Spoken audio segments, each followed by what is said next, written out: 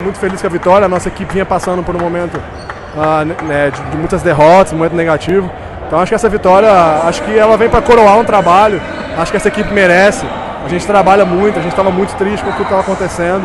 E a gente sabe que é muito difícil dar a volta por cima, então eu estou muito feliz.